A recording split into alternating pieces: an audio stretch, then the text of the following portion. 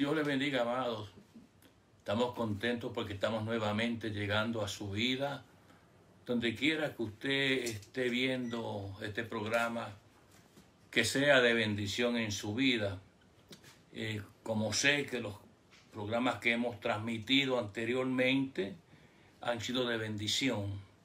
Ese es el propósito de llevar la palabra del Señor. Ese es el propósito de que la palabra de Dios sea eh, vitamina espiritual para su vida, para que usted vaya creciendo y cada día más la revelación del Señor penetre a su vida de una manera especial. En este día quiero que vaya conmigo al Evangelio según San Juan. Evangelio según San Juan, en el capítulo 5 del Evangelio según San Juan. Eh, usted sabe que Juan fue un escritor que era un hombre que escribía principios espirituales.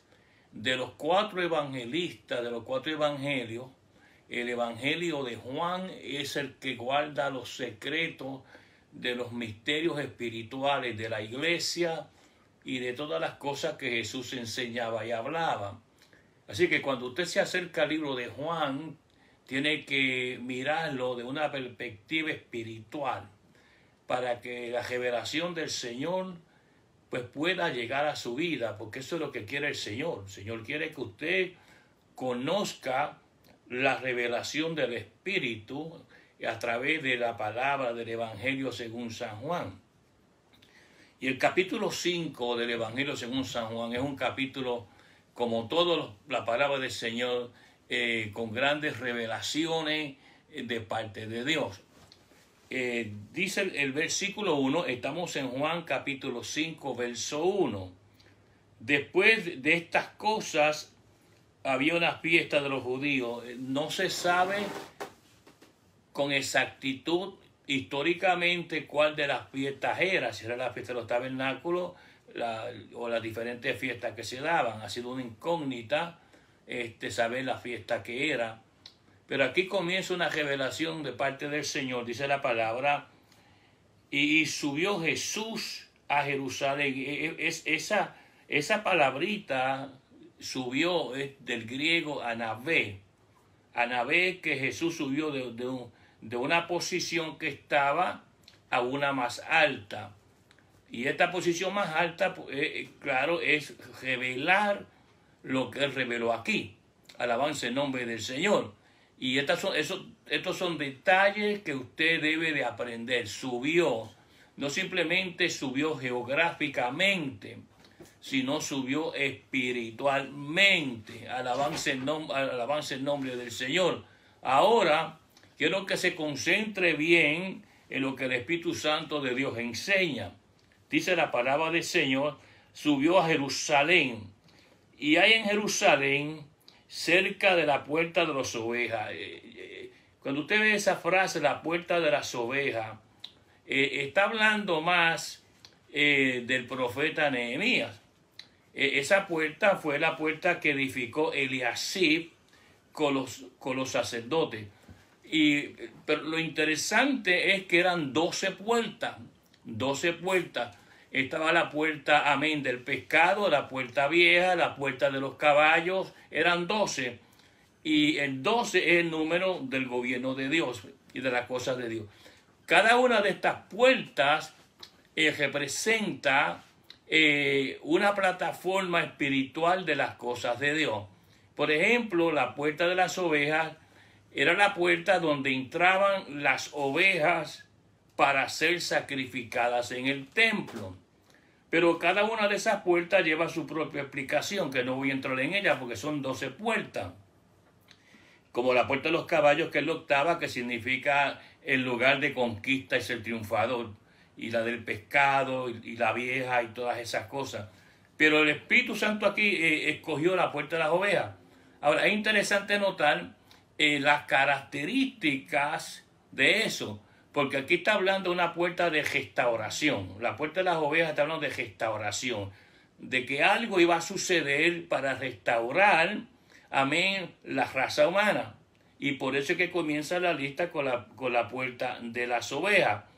Y también usted sabe claramente que eh, las ovejas es usada como símbolo por el Espíritu Santo de Dios a través del profeta Isaías, que es símbolo del creyente.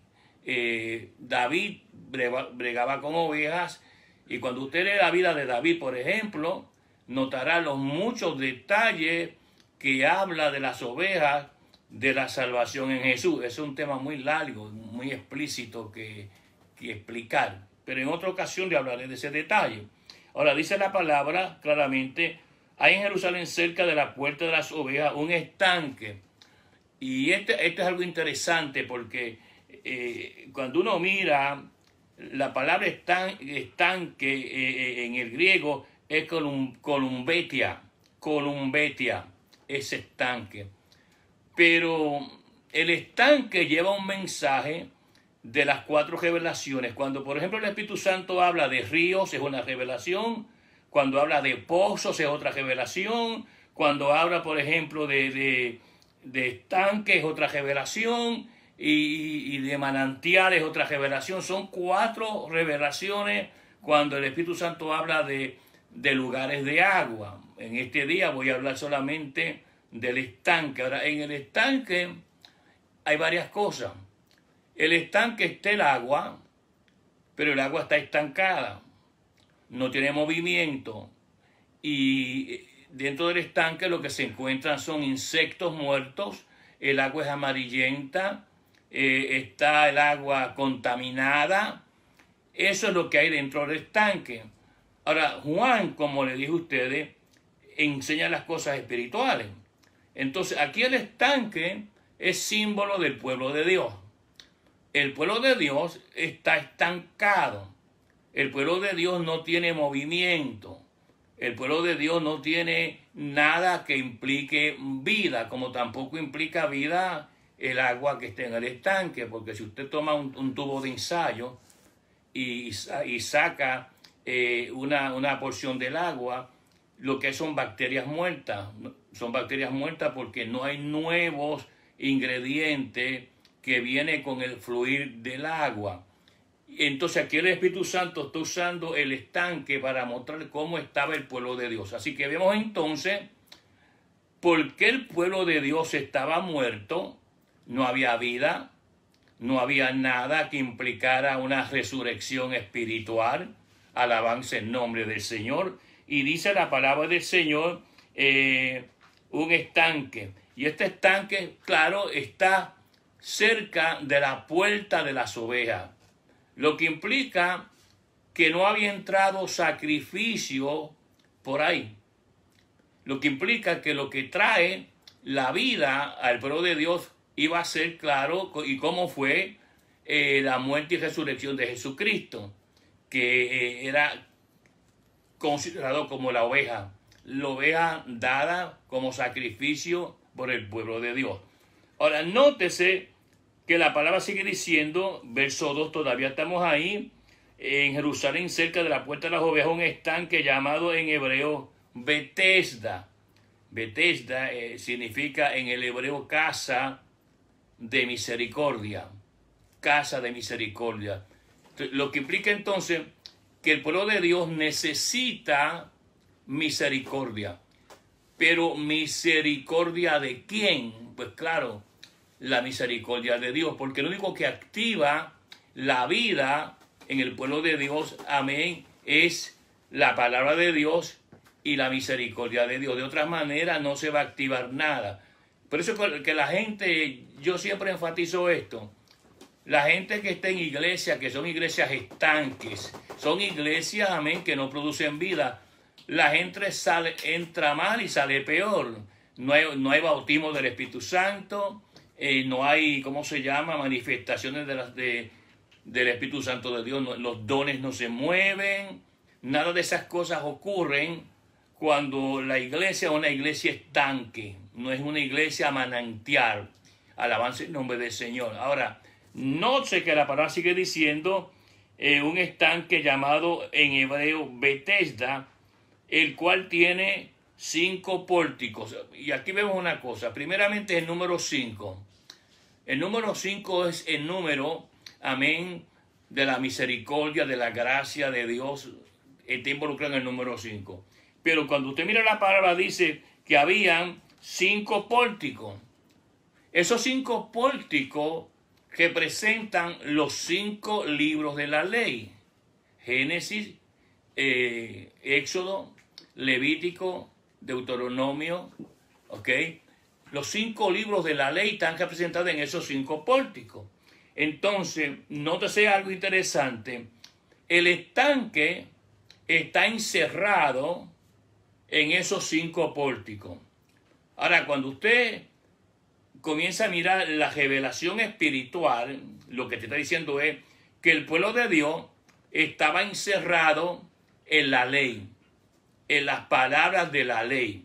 Entonces, la ley no le estaba dando a ellos revelación, no le estaba dando a ellos este, manifestación, iluminación del Espíritu. Ellos están ahí encerrados. Entonces, la ley estaba, estaba muerta. Y así como estaban los insectos en el agua, en el estanque. Entonces, ¿qué sucede? Tiene que haber un cambio. Y la misericordia de Dios. Si usted se pregunta, bueno, ¿y por qué el estanque se llamaba Bethesda, casa de misericordia? Porque Dios siempre en su misericordia se acordaba del pueblo de Dios. Aunque estaban infestados, aunque estaban completamente en una condición espiritual muerta. Por eso es que el Espíritu Santo dice ahí claramente, mire esto, el cual tiene cinco pórticos. En esto yacía una multitud de enfermos. Sé cómo estaba el pueblo de Dios.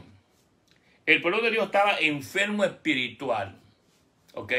Porque estaba tomando agua eh, inmunda del estanque que es representado por los cinco pórticos por la ley que no producía vida. Para cambiar esa situación tiene que entrar el, Mesías, el Salvador del mundo. De otra manera, el pueblo va a seguir inactivado. Y las iglesias son así. Hay iglesias que son estanques, hay iglesias que son manantiales, hay iglesias que son ríos, dependiendo de la manifestación espiritual que hay en esa iglesia. Ahora, nótese que dice la palabra del Señor que hayan ciegos, cojos, paralíticos, que esperaban el movimiento del agua. O sea, que el pueblo de Dios siempre estuvo esperando la visitación de Dios, pero estaba encerrado en un estanque espiritualmente hablando y que no estaba purificado. ¿Por qué? Porque la ley no te iba a purificar. La ley te decía que cómo estabas tú, era como un espejo. Tú te mirabas en la ley y sabías las cosas malas que estabas haciendo y las cosas buenas que estabas haciendo, pero no te purificaba para nada. Ahora, nótese que la palabra sigue diciendo, mire esto, estamos en el verso número 3, ciegos, cojos y paralíticos que esperaban el movimiento del agua. Ellos esperaban un avivamiento. El pueblo de Dios estaba esperando un avivamiento espiritual. Un avivamiento espiritual que nunca llegaba. No podía llegar por la condición que se encontraba el pueblo de Dios, estancado, sin visión. Dice que habían ciegos, paralíticos, no, no tenían movimiento. Dice la palabra del Señor. Dice que, eh, que estaban eh, cojos. O sea que el pueblo de Dios estaba en esta condición.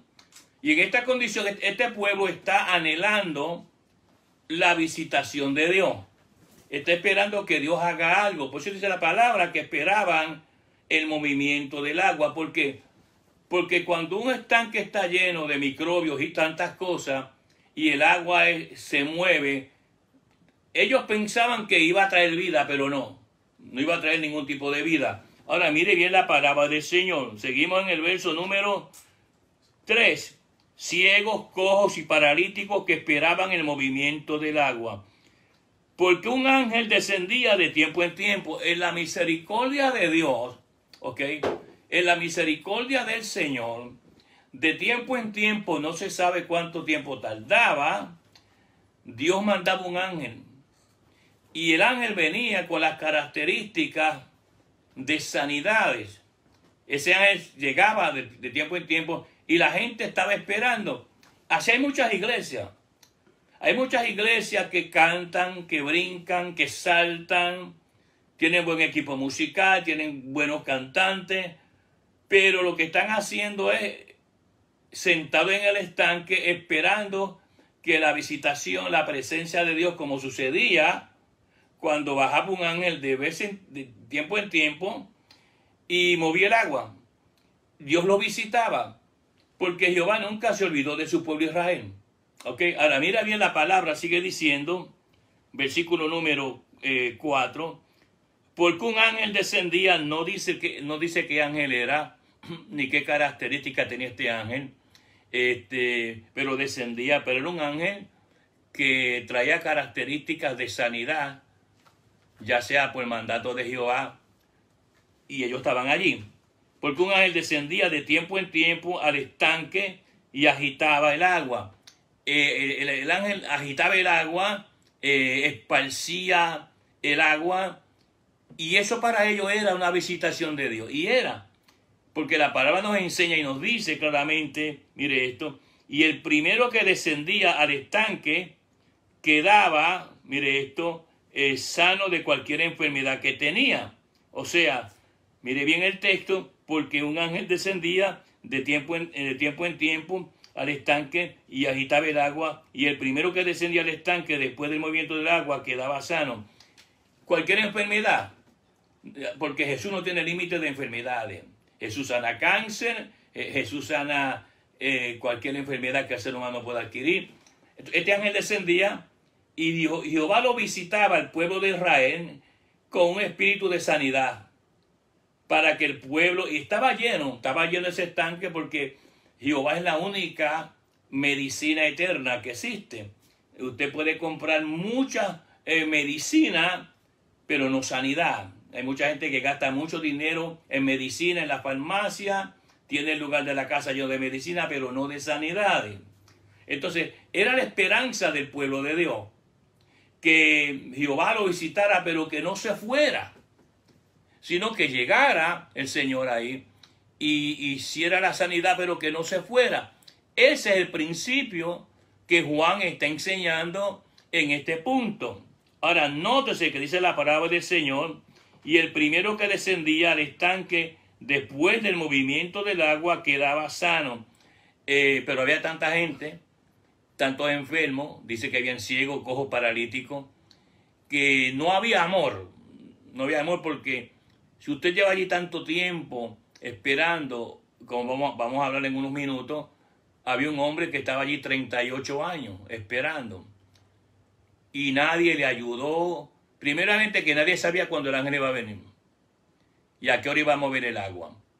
Y usted tenía que dormir literalmente casi eh, con una mano o un pie dentro del agua para cuando llegara el, el ángel le sanara. Pero nadie sabía cuándo iba a ser la visitación de Dios. No es como ahora, que ahora nos ajodillamos y tenemos, tenemos a Jesús como Señor y Salvador. E inmediatamente que yo me arrodillo ante el Señor, yo entro en la presencia de Dios. claramente. Acercaos confiadamente, dice la palabra, al trono de la gracia. Acercaos confiadamente al trono de la gracia. Yo me acerco al trono de la gracia, amén, en el cielo, seguida que doblo mis rodillas y busco del Señor. Inmediatamente, rápidamente. No tengo que estar eh, esperando 38 años o 20 años para que Dios me visite. Ahora, nótese este, este punto. Dice la palabra del Señor, versículo 4, quedaba sano de cualquier enfermedad. Ahora, aquí hay algo. Aquí hay un hombre. Aquí hay un hombre que lleva ahí 38 años. El 38 es el número, amén, de los hombres de guerra. Se valora, se valora por el 38. Así que este hombre tuvo una fe grande 38 años esperando que Dios le visite. Cuando hoy día las iglesias, si Dios no le habla a una persona el fin de semana, ya abandonan la iglesia, abandonan al Señor, porque andan diciendo, Dios no me quiere. El diablo lo tiene bien controlado esa gente. Ahora se dice la palabra, y había allí un hombre que hacía 38 años que estaba enfermo. ¿Usted se imagina eso? Este hombre lleva 38 años esperando el movimiento de Dios. Eso es tener fe. Claro, y, eso lo está mirando desde el cielo, por supuesto. Y el Señor, los que esperan en Jehová jamás serán confundidos. Los que esperan en Jehová siempre recibirán a su tiempo. Este hombre tardó 38 años, pero la espera de él iba a ser recompensada. Ahora, mire la palabra del Señor. Cuando Jesús lo había acostado, o sea que aquí la iniciativa fue de Jesús. No dice cuando el hombre vio a Jesús. Dice cuando Jesús lo vio eh, acostado allí. Ahora, eso implica que siempre la motivación está de parte del Señor. La Biblia dice que Jesús mirando hacia arriba vio en el árbol sicómoro a Saqueo y le dijo, desciende porque hoy es necesario que pose yo en tu casa. La motivación siempre viene del Señor, porque Él vino a buscar a todos los perdidos, incluyéndolo usted y a mí, y nos rescató, nos sacó del estanque eh, que estaba completamente infectado, espiritualmente hablando, y nos dio vida. Ahora, nótese, no se olvide que hay cinco pórticos, que son los cinco libros de la ley. La palabra del Señor dice, mire esto, y había un hombre que tenía, hacía 38 años que estaba enfermo. Cuando Jesús lo vio acostado y supo que llevaba ya mucho tiempo. Jesús vio, lo miró en su omnisciencia, lleva ya mucho tiempo. Le hace una pregunta rara, una pregunta extraña. Le digo, ¿quiere ser sano? Bueno, usted se preguntará, bueno, ¿qué clase de pregunta es esa? Porque si yo llevo 38 años enfermo, y estoy esperando aquí que un ángel descienda cuando vaya a descender. Y si yo cualifico para estar dentro del agua antes que otro se ha sanado. ¿Por qué razón? Porque si Dios siempre mira tu motivación. Dios quiere la confesión personal tuya. De que tú, al que conocerlo, yo quiero que seas ser sano, estás diciendo, yo sé que tú eres el Cristo de la gloria, el Salvador del mundo, reconozco de que tú todo lo puedes y todo lo puedes hacer. Todas esas cosas van marcadas ahí. Ahora, nótese que la palabra dice, Señor le respondió el enfermo, no tengo quien me meta en el estanque cuando se agita el agua. El hombre siempre tiene excusa, porque el hombre es limitado. Y a la misma vez el hombre está diciendo, aquí no hay misericordia. Esto se llama casa de misericordia. Pero aquí no hay misericordia.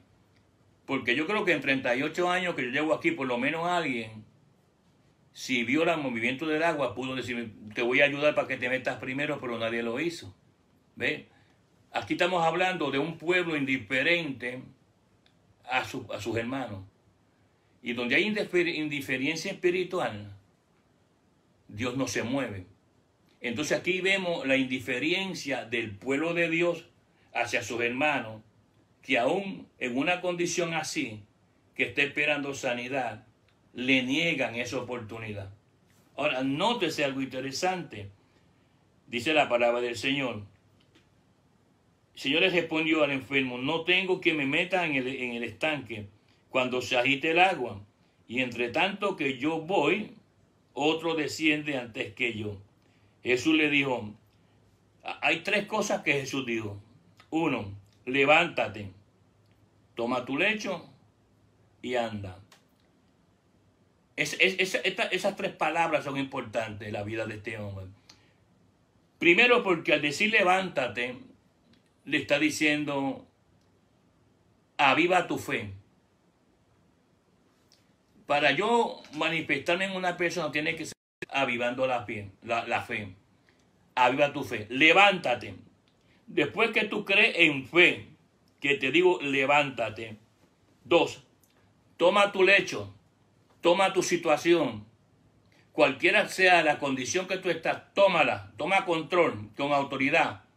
Porque la fe hace que tú tomes autoridad. Y lo tercero es, y anda, camina, sé libre y esos tres principios están mezclados en esas tres palabras que Jesús enseñó. Levántate, toma tu lecho y anda. Y en las iglesias estanques, que hay muchísimas, este hombre está allí sentado o esa mujer está allí sentado. Nunca reciben la visitación del Señor.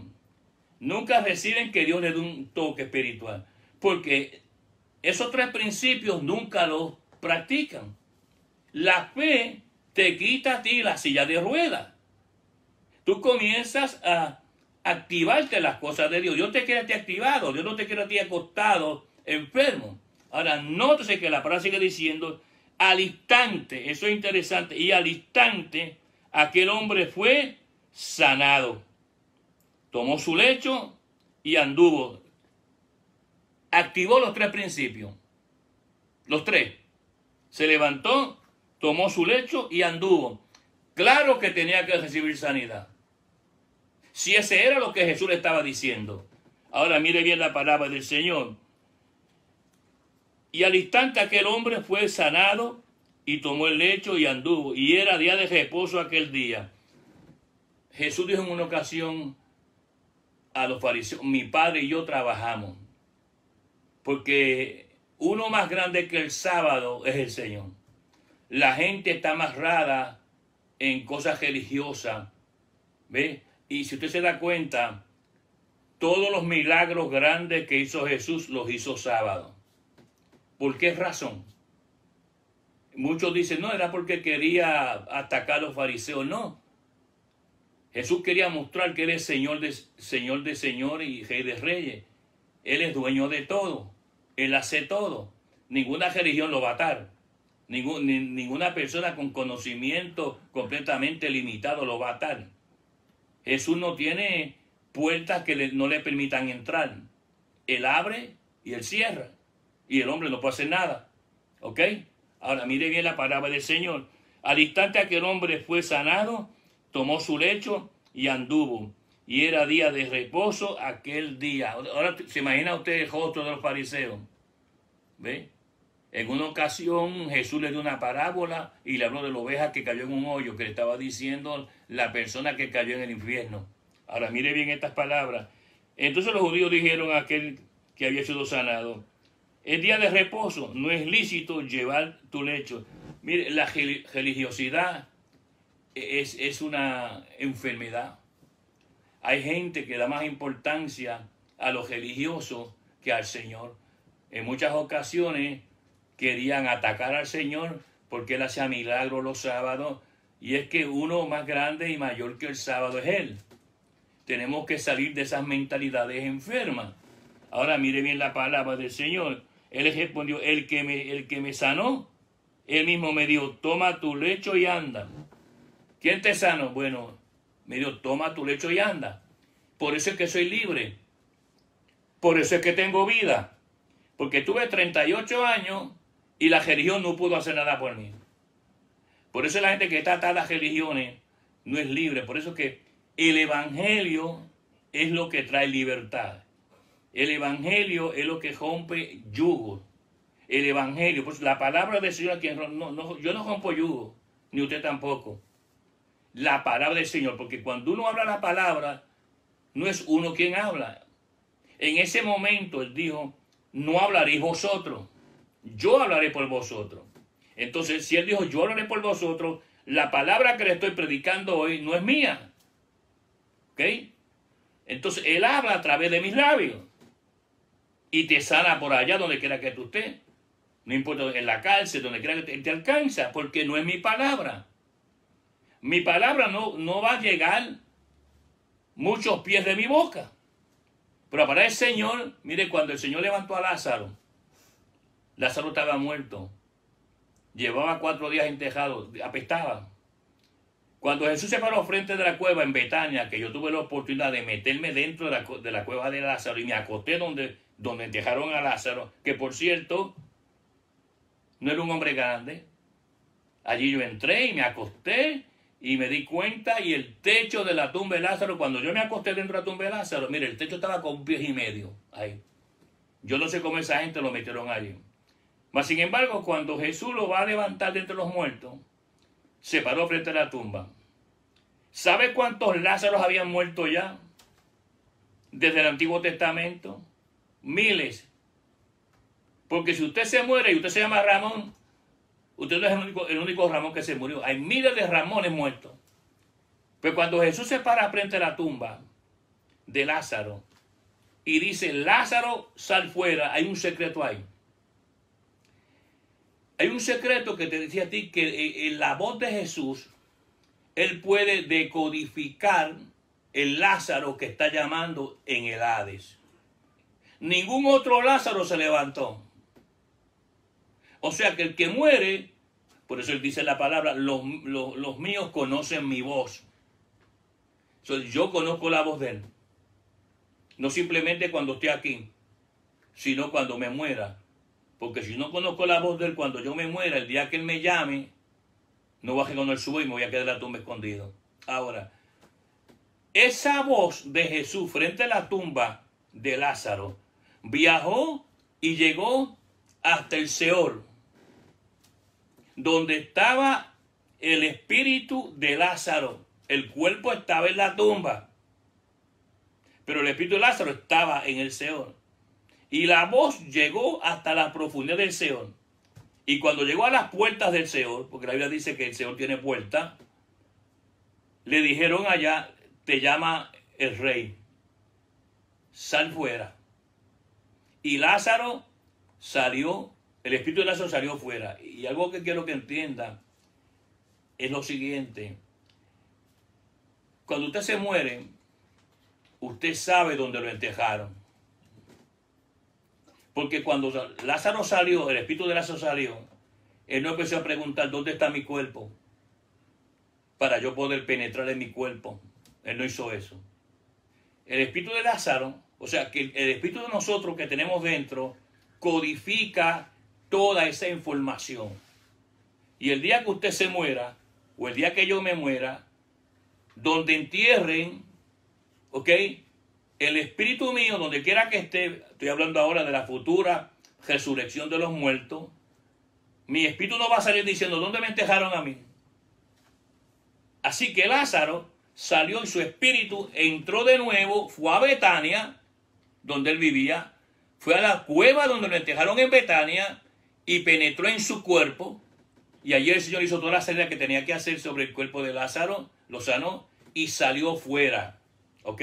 Es importante que usted entienda esos detalles. Siguiendo un texto más, dos textos más, dice la palabra del Señor. Versículo número 12. Entonces le preguntaron ¿Quién es el que te dijo, toma tu lecho y anda? Se da cuenta que esa gente no conocía ni al Señor. Mire cómo está el pueblo de, Israel. Preguntando quién le sanó. Ahora mire bien la palabra del Señor. Y el que había sido sanado no sabía que fuese, que fue, que fuese porque Jesús le había apartado de la, se había apartado de la gente que estaba en aquel lugar. Después le halló Jesús en el templo y le dijo, mira, has sido sanado, no peques más se da cuenta que Jesús relaciona el pecado como enfermedades y con esas cosas. No peques más. Como tratando de decirle, los pecados tuyos hicieron que tú llegaras a esta condición, ¿ok? O las prácticas que yo hago. Porque Jesús le dijo a aquella mujer, tus pecados son perdonados, pero vete y no peques más. El hombre no entiende eso. Ahora mire bien la palabra del Señor. Lo encontré en el templo. Mira, ha sido sanado, no peques más, para que no te venga alguna cosa peor. ¿Se da cuenta? Que a Jesús decirle para que no venga alguna cosa peor implica que una vez que Jesús te sana a ti de una enfermedad por tus pecados y tú continúas haciendo lo malo, Él nos enseña ahí que la próxima vez tu condición va a ser peor vete para que no te venga algo peor. Y mucha gente que Dios ha hecho sanidades en alguna iglesia, por ejemplo, y ha sido, ha, conseguido y ha seguido practicando el mismo pecado, el pecado le va a caer mucho peor. Y al caerle mucho peor, la destrucción del cuerpo va a ser más rápido que la primera. Ahora mira bien la palabra el hombre se fue y dio aviso a los judíos que Jesús era el que había hecho la sanidad, lo había sanado. Con esto yo quiero que tú entiendas que tú siempre tienes que darle la gloria al Señor. Nosotros nos gusta eh, que Dios nos sane, nos haga milagros, nos haga prodigios, pero nunca decimos, le voy a dar, voy a dar testimonio de lo que Jesús hizo por mí, me sanó. Y la razón que estoy ahora de nuevo con vida y con salud es porque es la misericordia del Señor.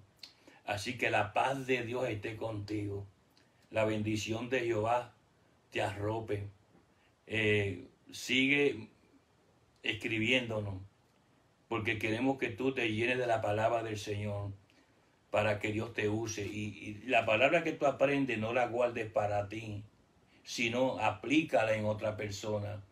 Porque tú puedes ser la persona que Dios use para libertar a una persona del pecado o para que reciba la salvación y la vida eterna. La paz de Dios contigo, la bendición de Jehová contigo y esperamos verte en la próxima vez, en la próxima transmisión. Un abrazo del Pastor Lorona y que la paz de Dios te llene a ti. Quiero orar por ti en este momento donde quiera que tú estés. Padre, gracias te doy por tu misericordia y por tu amor. Bendice cada persona que tú has alcanzado a través de tu palabra y permite que cada persona, Dios mío, reciba sanidad espiritual, física y que sobre todas las cosas se conviertan a ti. Y que tú, Dios mío, cada día más tu palabra se multiplique y ellos puedan reconocerte a ti, Jesús de Nazaret, como su Salvador y su eterno Rey. Amén. Dios le bendiga a todos. La paz de Dios con vosotros. Amén.